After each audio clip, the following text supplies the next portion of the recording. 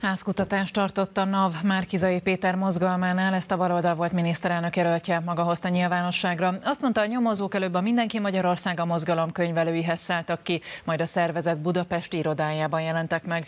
Márkizai Péter másfél évvel ezelőtt egy tévéműsorban beszélt arról először, hogy a baloldal több száz millió forintnyi dollárt kapott külföldről a kampányban, és még utána is. Stefán Zoltának érkezett vendége a témában. Köszönöm szépen, Boglárka. Jó estét kívánok ismét a nézőknek és vendégemnek, aki a 21. század intézet elemzője, Nagy Ervin. Jó estét kívánok. Márkizai Péter azóta már megnyilvánult ezzel a vizsgálattal kapcsolatban, és azt mondta, hogy ez egy propaganda hadművelet, az, hogy az adóhatóság kiszállt a mozgalmának az irodájába hozzátette, amit egyébként már sokszor elmondott, hogy egyedülállóan a történelemben ő mindig így fogalmazza meg. Ők nyilvánosságra hozták a kampányköltéseiket, 42 ezer oldalas dokumentum, nincs mit takargatniuk. Mi az, ami, amire az adóhatóság akkor kíváncsi lehet, hogyha ezek nyilvános adatok? Hát tényszerűen nem igaz, mert nem egyedülálló módon, hanem minden párt nyilvánosságra szokta hozni a saját jelentését részletesen. Ő is ezt tette, ráadásul nála egy egyesületről van szó, és ugye a probléma az pont abból fakad, hogy egyesületként ők külföldről fogadtak be pénzt. Ugye ez az ismert történet, hogy az Action for Democracy egyesületnek küldte ezt a pénzt, de az állami számvevőszék részjelentése szerint ennek egy részét, 260 millió forintnyi összeget vizsgáltak meg, azt pártszerűen, tehát kampányra költötték el közösen a hat párttal, és ez a tiltott pártfinanszírozás. Ezt büntetésként ki is rótta az állami számvevőszék 261 millió forint megfizetésére kötelezte a Demokratikus Koalíciót, a Jobbikot, a Momentumot, az MSZP-t, az LMP-t és a párbeszédet. Ez így van, mert ez egy közös kampány volt, amiben közös kifizetések történtek, ezt állapította meg az állami számvevőszék. Ám hozzátette, hogy ez egy részjelentés, és több mint egy milliárd forint van még, amelyet a Mindenki Magyarország a mozgalom elköltött, ennek egy jelentős része egyébként a datadathoz áramlott, ez a Bajnai Gordon féle csoport, és úgy fogalmaztak, hogy ezeknek a vizsgálatában az ő hatósugaruk vagy az ő lehetőségeik szűkösek. Azaz olyan bűncselekményeknek a gyanúja merült fel, amiben az állami számvevőszék nem tud eljárni, nincs hozzá eszköze, nincs, nem nyomozó hatóságról van szó. És épp ezért ezekben a kérdésekben a NAV vizsgálódik. Ennyiből nem meglepetés, hogy a NAV házkutatást tartott, tehát ez az egyik oka, hogy bűncselekménynek a gyanúja merült fel, ahol a hatóságok, illetve a nyomozó szervek ebben az esetben eljárnak.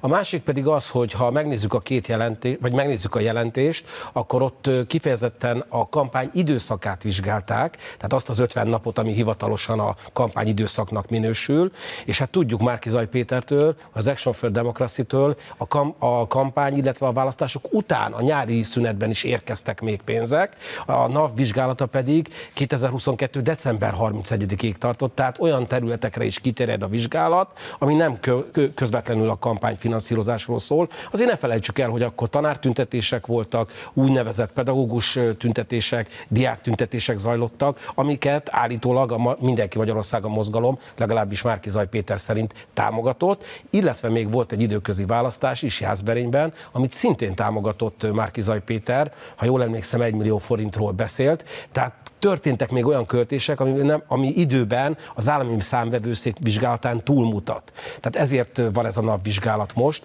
hogy egy teljes képet kapjunk azokról a pénzekről, amik külföldről érkeztek. Visszatérnék még akkor ehhez, mert ugye, hogy akkor, amit Márkizai Péter állít, hogy 42 ezer soron minden egyes tételt a tollaktól, a plakátokig, a hangosításig feltüntettek. Milyen olyan körülmény merülhet föl, ami aggályos a költésekkel kapcsolatban? Hát egyrészt a papírokon ö, ott van, hogy ö, milyen teljesítések, milyen ö, számlákat állítottak ki azok a cégek, akiket megbízták, viszont azt nem tudják vizsgálni, mert nem nyomozati szervről van szó, hogy ténylegesen mi valósult meg ebből. Tehát, hogy történt-e költségvetési csalás, vagy történt-e olyan üzleti, gazdasági bűncselekmény, amire mondjuk egyébként pont az egykori szövetségesei közül Ungár Péter is célzott, amikor azt mondta, hogy ő nem látta ezt a pénzt, elképzelhető, hogy a datadathoz érkező pénzt valaki eltette, zsebretette, ezt Ungár Péter mondta, kérdőjelesként, tehát ezeket vizsgálhatja a NAV. Ráadásul a Datadat cégcsoport az egy nemzetközi hálózattal bír, tehát külföldön is vannak lányvállalatai, és külföldi cégeket is dolgoztattak a kampányban, osztrák, illetve ha jól emlékszem a Baltikumban lévő országokban is, például adatkezelésre bíztak meg lányvállalatokat, és az állami számbevőszék nem tud az országon kívülre ö, figyelni, a NAV-nak viszont van arra jogosítványa, hogy felvegye a kapcsolatot az osztrák, vagy akár melyik másik ország hatóságával hatóságával. Márkizai Péter arról is beszélt a közelmúltban egy interjúban, hogy az állami számvevőszék által megállapított eh, jelentés azzal gyakorlatilag szintén egy propagandaeszköz, mert hogy az ellenzéki pártokat próbálják meg ellene hangolni.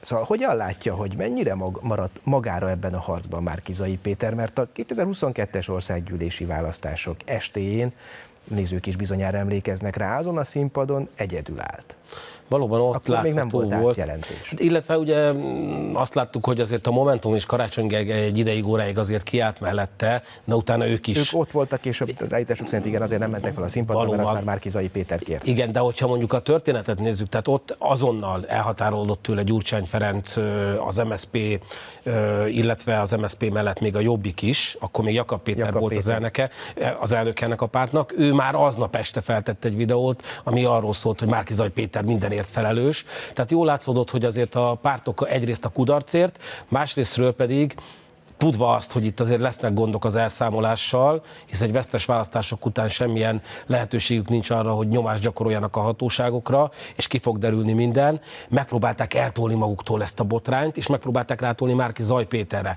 Most ez egyébként hatványozottan látszik. Tehát én azt látom, hogy a köztük lévő ellentét, ami már most tényleg olyan mély, hogy átjárhatatlannak tűnik, az nem azért van, mert bárki odaéket ver, hanem egyszerűen azért, mert van egy olyan közös történetük, amiben mindenki a másikra mutogat felelősként, a másikat hibáztatja. Tehát nem kell őket egyébként szétválasztani, elég rendesen egymásnak estek. Ha valaki megnézte a legutóbbi videóját Márki Zaj Péternek, akkor egy magára hagyott, bukott politikusnak a képét sugározta, aki árulókról beszélt. Az elmúlt hónapokban a kommunikációban nem csak az áldozati póz volt jellemző, hanem az is, hogy a egykori szövetségeseit árulóknak nevezi. Tehát én azt hiszem, hogy ez, a, ez már annyira megromlott kapcsolat, hogy ezek az össze, tehát el, már összefogásról jövőben nem lehet beszélni.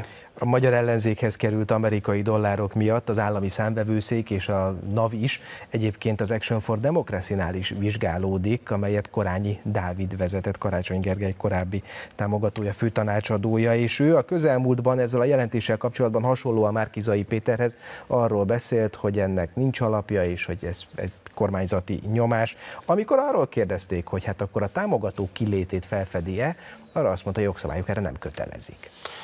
Valóban, mert itt az Egyesült Államokban egy olyan szervezetet jegyeztek be, Action for Democracy ez volt a neve, de a szervezetnek a bejegyzésének a jogállása az olyan volt, hogy az ottani törvényeket is kikerülve valóban nem kellett megnevezni a támogatókat, bár ők folyamatosan azt kommunikálták, hogy a külföldi támogatók azok ott élő, kint élő, tengeren túl lakó magyar emberek, akik kis mikroadományokból dobták össze ezt az összeget, ez azóta már megdőlt. Tehát Korányi Dávid is, és Márki Zaj Péter is valótlanságot állított, mert azóta videók kerültek ki az egykori Twitter, ma X-nek nevezett közösségi platformra, ahol maga Korányi Dávid, Kati Márton, Wesley Clark és más egyéb prominens figurák, akik egyébként az Action for democracy a vezetői vagy tanácsadói, beszélnek arról, hogy ezeknek a pénzeknek a forrása Soros György vagy a Soros Hálózat. Nagy Ervinnek köszönöm szépen, hogy itt volt és hogy mindenről beszélhet. Köszönöm a meghívást.